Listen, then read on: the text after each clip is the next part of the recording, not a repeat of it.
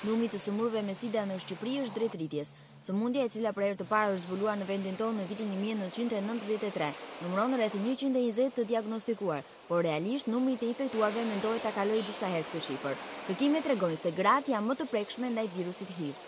Ajo që na shqetëson është fakti që Numri i rasteve të reja nga viti dy mijë deri në vitin dy mijë e tre është rritur shpejt, pra rreth shtatëdhjetë për qind e këtyre rasteve janë zbuluar në këto tre vite. Pra kjo tregon që ka një tendencë që ky të bëhet një problem serioz shqetësues. Ndërkohë, ndërsa më parë vërehesht që midis sekseve kishte një diferencë ku dominonin meshkujt, tani kjo diferencë pothuajse është zhdukur, pra femrat dhe meshkujt janë pothuajse në të njëjtën përqindje të prekura. Pikërisht për të frenuar rritjen e rasteve, Ministria e Shëndetësisë ka hartuar strategjinë e re të masave për parandalimin e sidës. Në qendër të saj është informimi i shqiptarëve për sëmundjen vdekjeprurëse. Nga sondazhet e bëra ka rezultuar se vetëm pesë për qind e shqiptarëve përdorin masa mbrojtëse gjatë marrëdhënieve seksuale dhe një pjesë e mirë e popullsisë nuk e njohin AIDS dhe format e përhapjes së saj.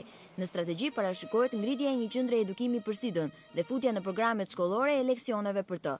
Shtresat më të rrezikuara të shoqërisë ndaj sidës janë të droguarit, prostitutat dhe të burgosurit. Ndërkohë, në shkurt, në vendin tonë për herë të parë do të ketë ilaçe për sidën, nëpërmjet një fondi prej njëqind e pesëdhjetë mijë dollarë.